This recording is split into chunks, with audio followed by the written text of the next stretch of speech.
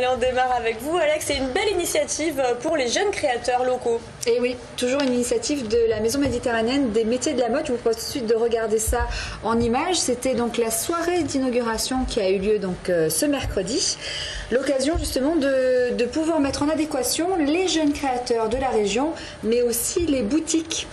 Donc euh, le principe c'est que les créateurs et les boutiques se rencontrent, se choisissent par rapport à leur thématique, par rapport à aussi euh, euh, ce, que, ce que proposent les boutiques et ce dont elles peuvent avoir besoin, que ce soit aussi bien justement de nouveaux produits et aussi de pouvoir présenter les collections automne-hiver, donc de 2013, 2012-2013 de ces jeunes créateurs. Je propose d'ailleurs d'écouter Marilyn Bélieu-Vigoro qui, qui explique beaucoup mieux que ça ce qu'est itinéraire mode. On l'écoute. On est à la sixième édition d'Itinéraire Mode. C'est une, manifestation qui permet à des jeunes créateurs euh, marseillais d'être référencés dans les boutiques sélectives de Marseille et d'Aix-en-Provence. C'est un événement important parce que c'est à la fois très convivial et ça permet aussi aux, aux marques qui sont, euh, qui sont vendues dans ces boutiques de rester au-delà euh, du mois promotionnel. Souvent on dit euh, ah il y a, tant de, créateurs à Marseille, on ne les connaît pas. Là justement on a voulu montrer qu'il y avait vraiment beaucoup de marques euh, très créatives et que les, commerçants étaient vraiment enthousiastes pour défendre et promouvoir ces jeunes marques. Donc il y a à la fois de la solidarité, de la sympathie, de l'empathie et en même temps elles sont très très contentes parce qu'on fait une communication importante qui accompagne ce- ce- cette manifestation et c'est tout bénéfice hein, pour euh, à la fois les, commerçants et les créateurs. Donc les créateurs à l'honneur.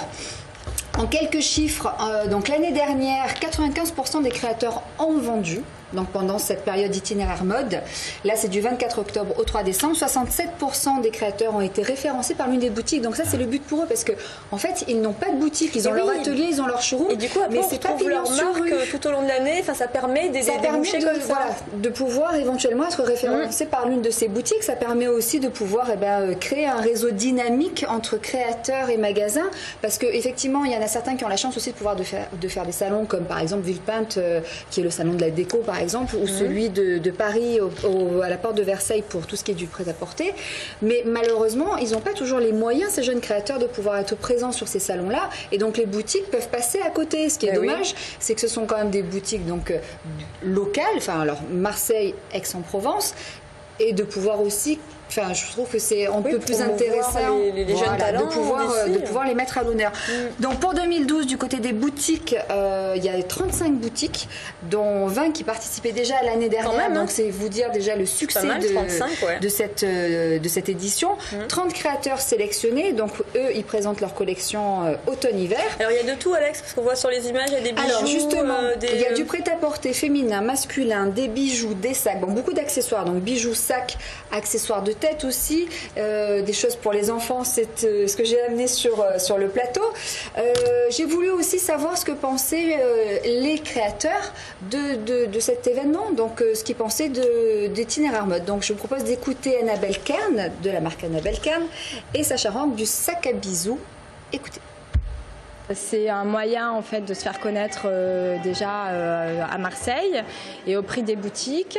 Et puis euh, c'est une grande réunion de créateurs aussi. Il y a énormément d'échanges à cette occasion. On, on rencontre aussi des, nouvelles boutiques et je pense que pour les Marseillais c'est important aussi d'avoir une proximité avec la jeune création de, voilà, de la ville. hein.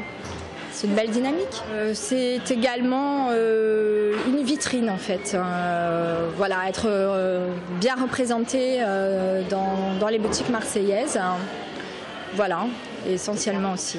Non, on peut pas, on peut pas le prévoir à l'avance. On souhaite effectivement que les choses se développent bien, qu'on puisse avoir euh, des ventes, bien entendu, connaître, être connu, pardon, euh, davantage, puisque ça fait quatre ans que nous faisons itinéraire mode. Donc euh, voilà, c'est toujours de belles rencontres, quoi qu'il en soit, et une belle vitrine euh, dans la jolie boutique que nous avons choisie.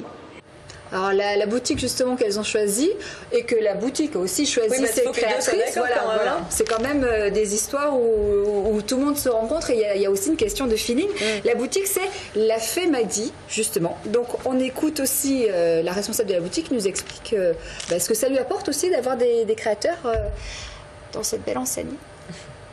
L'ouverture de la boutique, c'était un challenge de sortir un peu des sentiers battus et euh, de d'entrer dans un monde euh, poétique, féerique, euh, qui fait rêver comme ce monde de- d'enfants. Et les créateurs en font entièrement partie et sans eux, ça ne pourrait pas fonctionner. Donc il y a les marques, mais il y a les créateurs et c'est très important de, montrer le nombre de créateurs qu'il y a sur Marseille et, j'en suis très fière. Ils sont en plus, ça, permet d'avoir des relations aussi, euh, de rencontrer ces créatrices, parce que la plupart sont des femmes. Euh, je fonctionne beaucoup au feeling et j'aime beaucoup ce qu'elles font. Et comme le disait Annabelle, j'ai une boutique qui est située à côté d'une clinique où il y a une grosse maternité. Et ce- ces produits euh, collent très bien euh, avec l'univers euh, et la clientèle en fait. Et c'est la première, euh, première fois que je participe à cette opération. Et je trouve que c'est assez dynamique. Donc je suis assez euh, contente d'être rentrée dans ce réseau et de découvrir qu'il y a euh, beaucoup de créateurs euh, sur Marseille.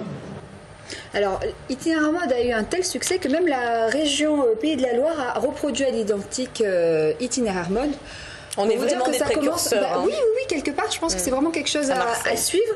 Après, donc, pour vous qui souhaitez euh, vous rendre dans les différentes boutiques et découvrir quels sont les créateurs euh, qui sont hébergés, donc vous avez des petites choses comme ça, euh, donc qui est un dépliant en fait que vous trouvez avec itinéraire mode. Vous Ah, bien et d'un côté donc euh, les créateurs qui sont sélectionnés. De l'autre côté, vous avez les euh, boutiques qui sont référencées avec un plan, le plan de. Marseille, le plan d'Aix-en-Provence. Donc ça, c'est une chose. Et puis attention, Mais ça dure de la modernité jusqu'au 3 décembre. 3 décembre, ils accueillent tous les créateurs, Ouais, d'accord. voilà, et après, ils quand voient même s'ils le les gardent ou pas, ou s'ils prennent quelques pièces, comme vous disiez tout à l'heure. euh, Ou parfois, voilà, ça, ça permet de pouvoir euh, débuter une, une jolie histoire de collaboration. Et sinon, alors le truc qui est pas mal par rapport aux dépliants, c'est qu'on est quand même, on a une vision moderne euh, à la Maison Méditerranéenne des métiers de la mode, puisqu'il y a même une appli iPhone. Smartphone. Smartphone. Truc de dingue. Smartphone, regardez. Donc ça vous permet voilà de pouvoir euh, télécharger l'appli, vous cherchez euh, donc euh, que ce soit les créateurs ou les boutiques et puis ils vous ils vous ils vous situent voilà, ils vous géolocalisent. Merci Laurent. Voilà. Et puis Petit là shopping. maintenant petit shopping. Allez. Petit shopping. Ah, euh, beau.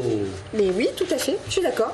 Que des choses pour les enfants. La Fémédie, aujourd'hui, alors la ça, hein. Fémédie, elle a donc, euh, elle a pris quand même quatre créateurs. Donc ça va de, certains en hébergent un, Ah, on certains en hébergent. Jusqu'à quatre. Donc il y a D'accord. vraiment. euh, Ok. Alors on commence par quoi? Le sac à bisous, on connaît. J'avais Oui. déjà présenté. Ah, voilà le les petits à bisous bisous. à l'intérieur quand, Quand on maman part. n'est pas voilà, là. quand maman n'est pas là, il y a des petits bisous à l'intérieur. C'est-à-dire, Et c'est quoi une- petits bisous? Des petits bisous. C'est une pensée en fait, un Voilà, peu, c'est- qui se ça, matérialise c'est par un bisou de la maman, une, un dodo qui est passé, Et papa, ça est reste autant de dodo. Le papa, on s'en Le fout. papa, est- le Si papa ça est donne pas envie de faire des bébés, ça. Ben oui, je crois. Va savoir pourquoi. Après, Efféor. Efféor, donc, il fait aussi bien de l'accessoire, mais aussi de, du prêt-à-porter pour les enfants. Ben oui, ou ça peut, être, ça peut être plein de choses, en fait. Ça peut être euh, euh, même Un un, Une étoile, une étoile. un hocher ou Non, ça, euh, une la baguette, baguette magique magique. ou pour frapper son frère ou sa sœur, c'est bien, c'est pratique. c'est mou, regardez. Et regardez, version Pour grand Laurent, la format, baguette magique. comme un petit coussin ou un doudou. Super le doux. doudou, comme Ça a quand l'air j'étais petit. bien. Hop là, Bon, c'est ça. Après, on a justement Annabelle Kern. Regardez, je trouve ça un, un univers un petit peu. Champignon un petit peu hallucinogène. hallucinant, Ça non fait de la musique. Ouais. Oui, Allez-y, tirez. ça fait Allez. la vie en rose. En rose. Il me prend dans ses bras. Et Je dans un autre registre, mais on reste toujours dans la nature. ce sont- C'est une petite pomme et elle, elle joue. euh, Regardez une comme on chanson est calme. douce. de- Vous savez, on est là dans un univers enfant. Après aussi, petite section créateur aussi euh, marseillais. Donc elle est plutôt dans l'univers, euh, presque ça pourrait m'aller. C'est une petite blouse d'écolier ou d'écolière. Regardez le petit détail avec le, le papillon. Ah, c'est mignon. Et elle fait aussi des, des sacs. Alors j'ai failli vous amener un petit sac à dos avec euh, des oreilles de lapin, mais voilà. Et puis après je vous ai amené ce qu'il y avait aussi dans Moi, la je boutique veux parce les que j'ai trouvé ça chaussons, rigolo. les chaussons. moulin rôti que vous connaissez d'ailleurs. Alors ça, je trouvais ça chouette parce que C'est c'est quoi un truc qu'on accroche aussi bien sur, Sur le, le dos lit de à l'enfant. barreaux. Sur le dos de l'enfant. Et sur le dos de l'enfant, bien évidemment. Et, non, lit à barreaux. Et puis c'est un, en fait, c'est, vous savez, les trucs tactiles. Ah oui. Où euh, Ah, ça ça fait Ah du oui. bruit. Ah, c'est bien. Ça les rend là, intelligents, Voilà, ça. ça les éveille. Non, les c'est souris. Et vous, vous avez craqué sur ça alors. Mais oui, moi j'adore petits ça. chaussons Je les souris. veux, je les veux. Allez. Alexandra, faut les essayer. pas, ces chaussons, allez dans les différentes boutiques. C'est pas un trop bel beau, ça itinéraire, principalement dans le centre-ville, hein, itinéraire mode Magnifique. pour la plupart. Et donc, euh, créateurs et boutiques tous ensemble réunis pour, euh, bah, pour mettre la création à l'honneur. J'adore, non mais vraiment j'ai adopté ces chaussons. Si je pouvais rentrer mes pieds dedans, mais je vous assure, je les quitte plus quoi. C'est quoi des souris pas, Alexandra. Non, j'arrive pas, vraiment petit tout.